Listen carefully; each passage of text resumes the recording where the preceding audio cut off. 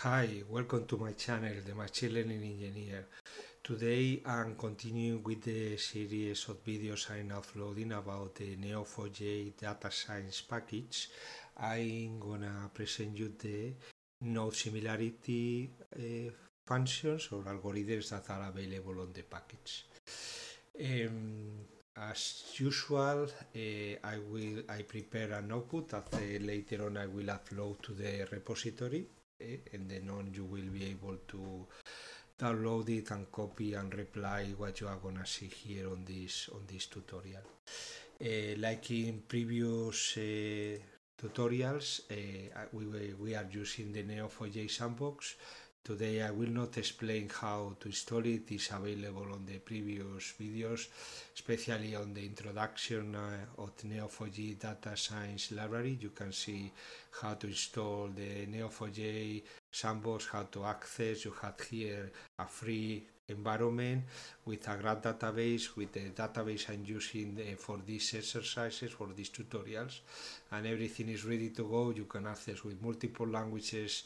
Uh, you have again the database free for 10 days maximum 10 days and uh, with all the features installed uh, and and well ready to go and ready to use it. So today we will not cover that just uh, we will go directly to the to the topic.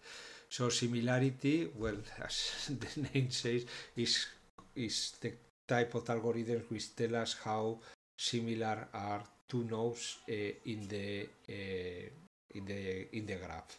There is multiple ways to compare it. Uh, when I say multiple ways, looking at the how to say at the at the function that we use to compare two nodes. It, we, are, we use a, a, Euclidean distance to, to compare how close are the, the two nodes, or we use Pearson similarity or cosine similarity.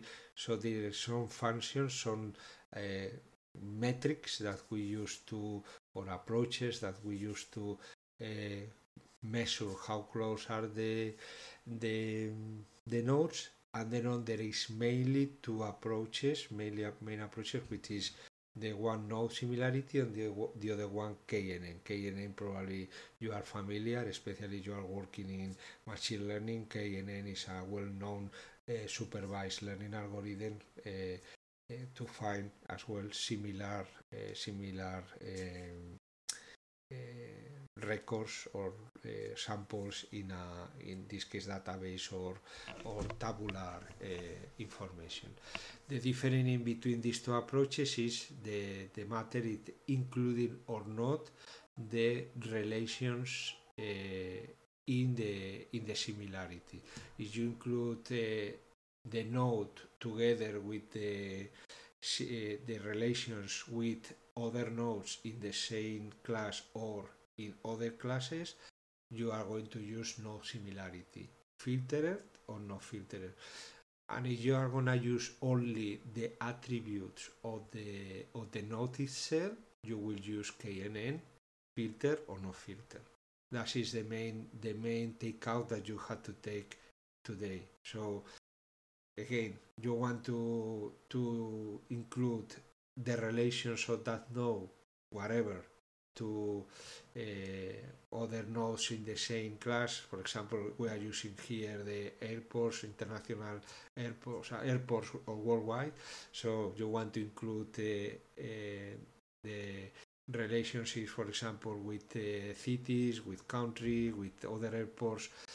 You want to include it on the similarity calculations, and then you will need to use no similarity is not if you want to compare the attributes of the node itself you will use KNN neighbors.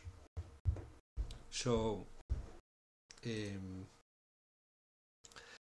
let's start uh, we connect to the database. This uh, as usual I, I explained in previous videos as well we are using the wrapper of LangChain. You can use directly the instructions of uh, available on the on the connection tab in the in the sandbox you have instructions how to connect to your database. Again this is a a database that you had access for three uh, by default to 10 days if you extend the access. So I is this in in a couple of days is going to be terminated automatically. So uh, there is no risk uh, in using it. You can create a, you can have a, um, one uh, instance per template available on the sandbox. Uh, again, I recommend you to use the data science template because you have there everything that you need to, to run this, this notebook. And we just connect to the database and we just create a simple query, match uh, airports in the city Los Angeles, and well, you, we just get the, the information. It's, it's like confirming that we are connected to the database um, here for no similarity, again, this is uh, included uh, the comparison in between two nodes. Uh, the metric to be used is going to be Jaccard, but also we can use other. Uh, by default, it will be Jaccard similarity, but we can use as well overlap or cosine similarity. This is uh, if we don't specify anything, it will be uh, Jaccard. But uh, again, when you run the algorithm, you can specify other other other other functions to to measure the similarity between two nodes. And again, here, uh, no similarity implies that uh, that uh, you include the relationships of this node. I will say I will uh, to say explain correctly this because when you create the projection uh, you can say at that moment which relations and which attributes and nodes you want to include for that specific calculation and we will see this now in a, in a couple of minutes in a couple of seconds so here uh, I'm gonna use a relationship that I created in a previous tutorial. Uh, the relationship is a has route weight. If you don't have it, if you are new to this uh, to this video, you didn't cover the previous one, you can create this relationship and comment in this this code that you have here. Essentially, what I did, we had. I create a, an attribute in the node airport, sorry, in the node country and in the node airport, uh, which uh, in which I set the number of airports in the country where this specific where the where the airport is located. I do the same for region. So there is in the in the note. Uh, probably it's better to, to me to show you. So in the database we have uh, airports, cities, regions, countries, and continents. So what I did in, in that code is just uh, set a, an attribute in airport. You can see here saying the number of airports that you had in the region where is located that airport and also uh, where is this page run I forget. Ah, and country airports which is the equivalent but counting all the airports available on the country so there is two, uh, two new attributes at the airport that are created on that piece of code. And I, I also create these the same attributes just in case on at the, in the region and in the country. And after that I create a relationship. I think is let me a relationship uh, so here I create the attribute uh, number of the airports in the country, here number of the airports in the region, and here I create a relationship. Uh, the relationship is just a replica of the car of the available relationship has route, but I create another one. So the relationship has route is in between airports, in between nodes airports, and this means that there is a flight from the airport P to airport M and then what I'm doing here is just creating a new one and I introduce a parameter on that relationship with a calculation. The calculation is fictitious, is uh, It's something I invented. Uh, don't don't try to find a, a, a sense to, to what I did here. Yes, I just wanted to have an attribute in a relationship. The hash uh, relationship had another attribute with is distance, but I well I create an, an additional one with two objectives. First of all, to have uh, an, an integer, uh, sorry, a flow from 0 to 1, and secondly, to show you how to create a relationship, a new relationship using just code, uh, using Cypher. The same uh, to create uh, new attributes in different nodes. Okay, uh, First of all, as in other uh, with other algorithms, every time that we work with the GDS, we need to create a projection. We name, we give a name to the projection, and here we are just restricting the uh, scope of our uh, of the how to say of the of the nodes, the properties, and the and the and the relationships that you want to evaluate in dashers. What we are seeing here, uh, airport have um, uh, relationships with uh, with country, with region, with continent, with city, and with other airports. And then on uh, also in the in the so the, you can have connections or, uh, from an airport to a country, to a city, to a region, to another airport but we are interested, this is just an example, in evaluate how uh, similar are uh, two nodes in the graph, looking at these two nodes, so uh, and looking at this relationship and looking at this property of the airport. The rest is not included in the calculations. This, uh, as I mentioned in previous videos, you need to know very well how uh, your graph is designed. Uh, so here just we are doing an example, probably the outcomes is, how to say, nonsense, but I want to show you that how it works, no? Not that the, the, the the query or the implementation of this specific specific uh, query uh, is uh, well it, it, has a value no so what, what i try to say is when you you run a, an, an algorithm in in neo4j with the gds is you need to understand first of all the design or the architecture of your graph and also how this algorithm works. Here again, we are going to limit the we don't include the whole graph eh? we just make a projection. This is the concept uh, view like the view in a database. So we just take part of the database with two tables some columns from that table and with that we create uh, we make a calculation. Here we are going to do exactly the same. We take only two nodes. We take one uh, one of the relationships and one of the um, uh, properties. This is the property that is going to be evaluated. So what means that the, even if the airport had other relationships with another nodes, as they are not on the projection, they cannot be evaluated versus that. Okay?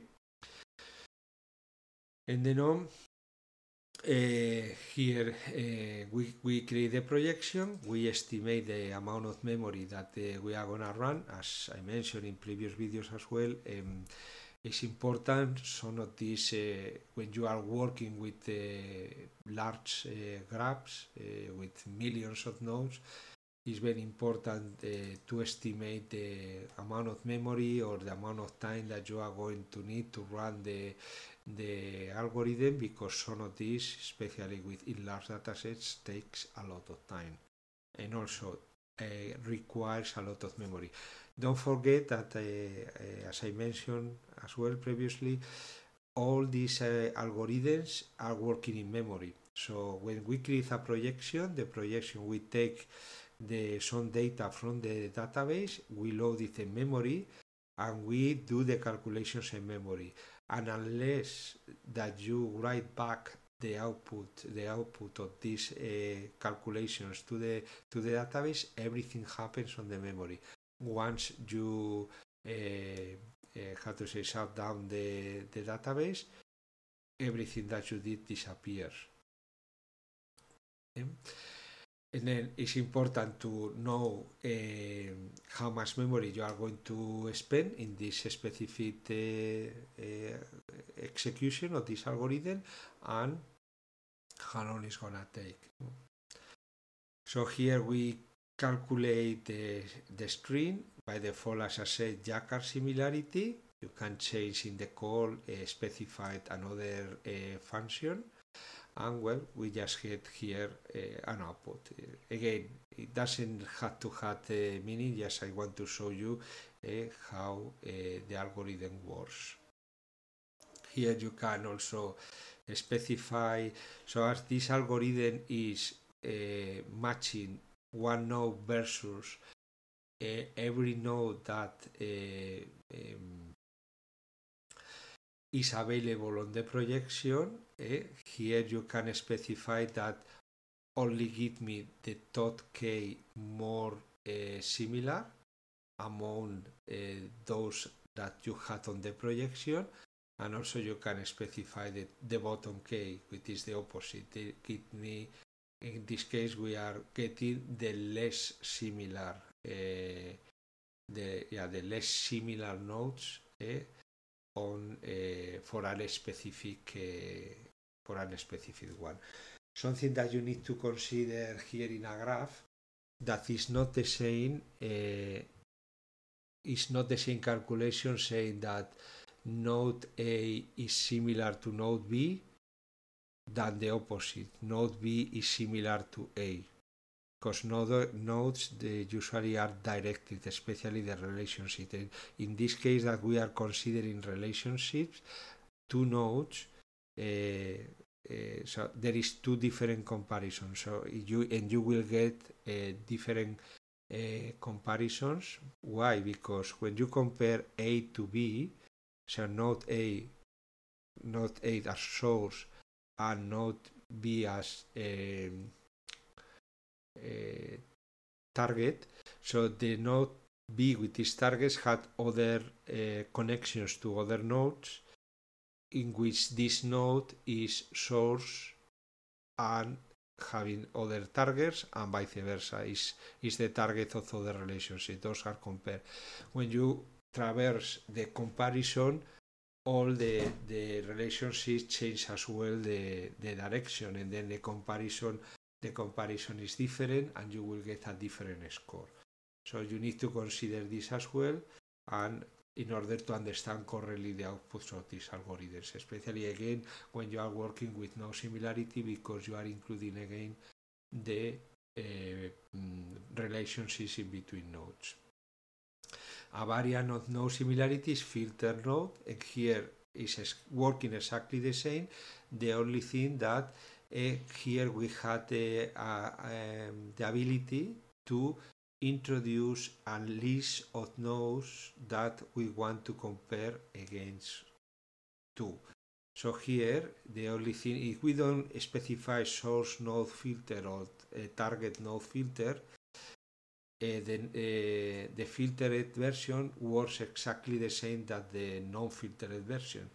But if you include, like I did here in this example, I take the San Diego uh, ID, uh, San Diego Airport, and I include it with uh, source node filter. What means that? That the, the is gonna compare um, uh, all the comparisons are going to have a, a node which is going to be referenced as a source and in this case it's going to be San Diego. Eh? Everything is going to be filter versus uh, um, having the uh, San Diego, in this case San Diego Linter, Lindbergh Airport as source. And then you execute the algorithm.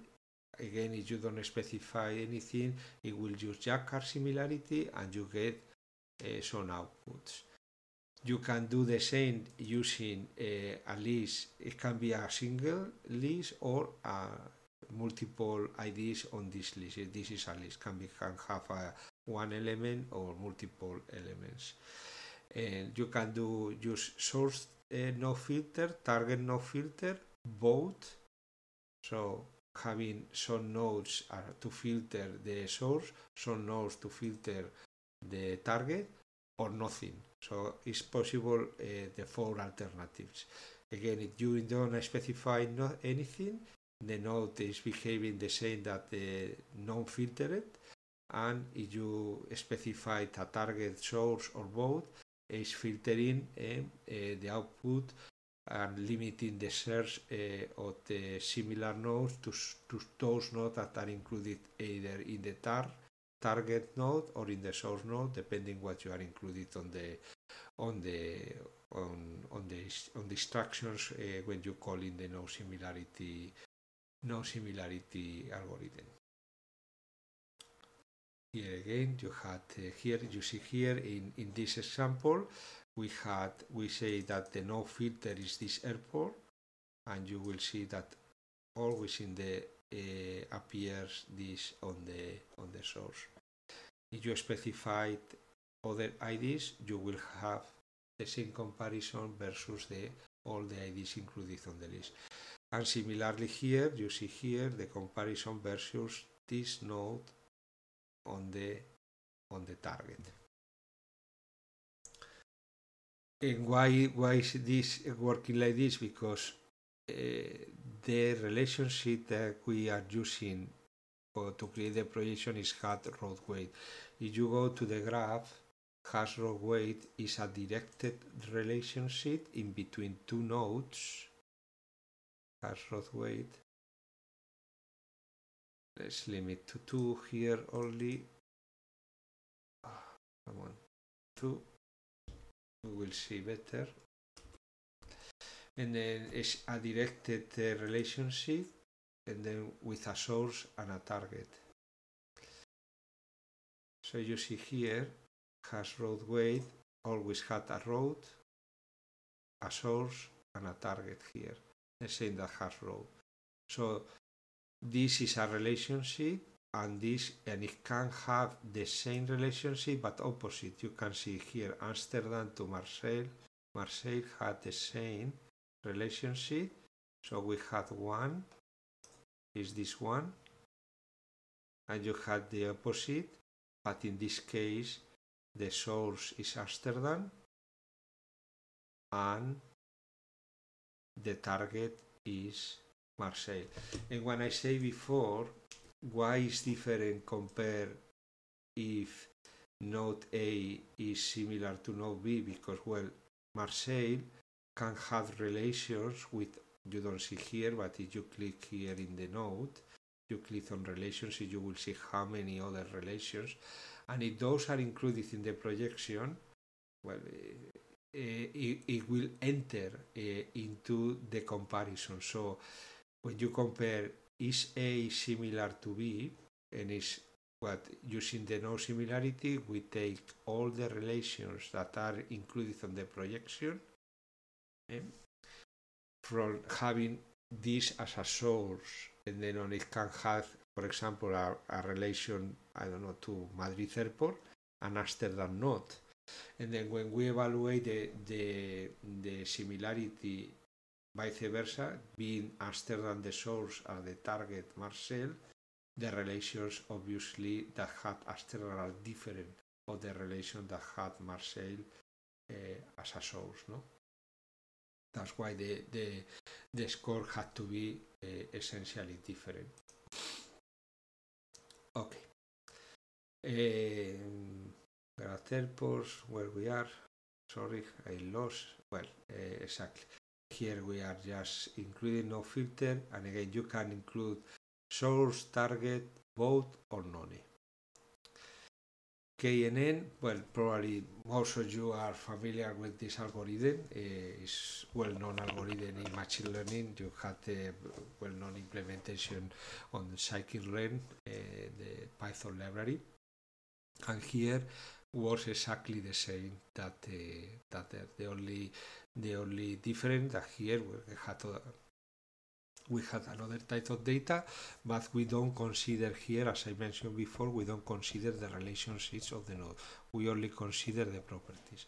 And then as the properties in this case also happens when you create, uh, when you use KNN, for example, with images or with text, uh, you can have as well here list of the, an attribute which is a list, an attribute which is an embedding, uh, coming from text or coming from uh, an image, whatever. And then for those attributes that are not, how to say, integers or floats, you need to specify which similarity function you want to use for that for that comparison. Here in this projection, we name uh, KNN, we are going to compare airports, how similar are airports, uh, the node airport uh, among all we have on the database, and we are to use these three attributes of the node. We don't use everything. You can use everything if you want. Eh? you can you can use a or you can use it as a subset. In this case, I just did this, it's, it's the simplest way to do it, uh, because those values are either float or uh, or integers. Again, if you specify here an embedding, just imagine you have a description, as a text, a paragraph, which describe the text, and you create an embedding using uh, a sentence transformer, and you create an embedding and you attach that embedding as a property of the airport. You can include this as well as a, as a property to be analyzed or to be yeah, to be included when in the KNN calculations, but you will need to set up with similarity functions you want to use to measure the similarity for that algorithm. What is that? You need to specify one of these similarity functions that are available in the GDS algorithm, Jacquard, overlap, cosine, Person, Euclidean, distance or, or simple Euclidean. Again, depending how you want to compare these two vectors, these embedding vectors or at least of the integers, whatever, you need uh, for uh, those specific uh, data types, you need to specify the the kind uh, how, how you want to do the comparison. Just take a look to the documentation, is everything well explained there, and then some other parameters that we of the of the algorithm that we will not uh, see here. You can take a look on the documentation. But yet this is uh, I noticed you that because you, in this case again here we don't specify anything just because of that because the data is uh, integers or floats in other cases, you need to specify how you want to this uh, the attribute be uh, measured versus the uh, other attribute in the other node. Um, here, um, here we are using. Um, okay, we create the projection again.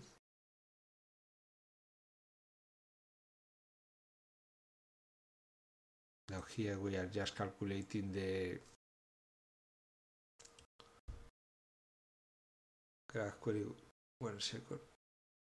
Sorry, I didn't realize that I was scrolling down and, and finally I was in a in a place that uh, it was uh, after the what I, I was explaining. So here we create again the projection for KNN. We include this only these three uh, properties uh, we set up the we create the, calculate the, estimate, uh, the memory requirements for to run this uh, this uh, algorithm and here we just run it no? We just want to know the clauses with the, we had the same that we saw before top, top k bottom k all these uh, attributes was the same. And then every node is going to be evaluated versus these three properties. And the node will just set that some random see how many processes you are going to use sample rate uh, you can take a lot of documentation to get uh, well to understand all the available parameters you have. But if you are familiar with the KNN algorithm in in scikit-learn, uh, they are exactly the same. Uh, see, uh, probably it's not the same name as parameter, but the meaning of what it's gonna do is exactly the same. Here we just see some information, and here we just, you just have the execution. So here, as you see, I'm, sorting the the information descending. Here I'm just uh, showing the 10 less similar uh, nodes, pairs of nodes, and here the, the top 10 more similar. No? Obviously, the top 10 are getting 1.0. And again, we are just evaluating the similarity using these three uh, properties of the node. And the filtered version is exactly the same uh, than uh, the filtered version of the node filter, just we include a, a node as source to uh, include uh, to filter the the uh, the pair the pairs of the nodes that you are uh, going to compare because only those that are similar to this or to the list that you include here will be uh, compared. The rest will be not compared. And similar here similar you just include it uh, uh, instead to source node filter we include target node uh, filter. And you see here as well the, the output what more uh, okay and finally uh, well here I'm deleting the, the drops. You can follow later on in step by step. Everything is on there. It's, it's quite straightforward. And here just a list of the of the different similarity functions we have available. Again you can specify one of these uh, on the when when comparing uh, no filter or some of the types on the KNN uh, algorithm and then we have Jacquard, overlap, cosine similarity, Pearson, Euclidean distance, or Euclidean. Here you have an example of how it works. As you can see here, obviously there is a difference, eh? so you need again to know exactly how the algorithm works. It's a good explanation as well on the page, how it's been done. Jacquard, uh, well, I use this sometimes uh, for fuzzy matching, but uh, yeah, here on this scope, yeah, it is possible to is, is used as again as the fall in the in the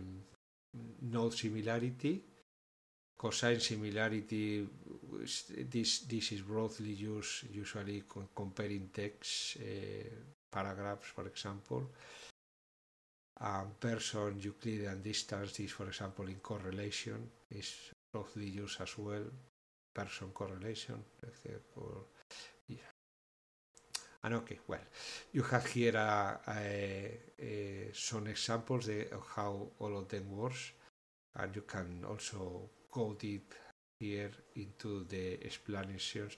In any case, there is not much explanation that you're gonna see here. There is this main graph and not more. Eh? These are really well-known uh, metrics uh, to to measure similarity, and well, it's just a matter to understand how which one you want to apply and in which runs uh, you want to uh, get the output. No, sometimes it's important to have a value in between zero to one, so another in between, depending what is connected or for what you are gonna use this this score. Okay, that's all. Uh, I hope you like it. Uh, interesting topic as well. as everything that we we we look in, into the Neo4j uh, GDS uh, package. It's uh, a complete package to do data science in Neo4j. Uh, well, that's all. Thank you very much for watching. I hope you like it and you find it interesting and, and useful for your for your job or for your uh, training or whatever you are doing. Uh, and well, as I usually say, thank you very much. Give me a like if you like the content and and subscribe to the channel if you didn't do it before. See you soon. Thank you.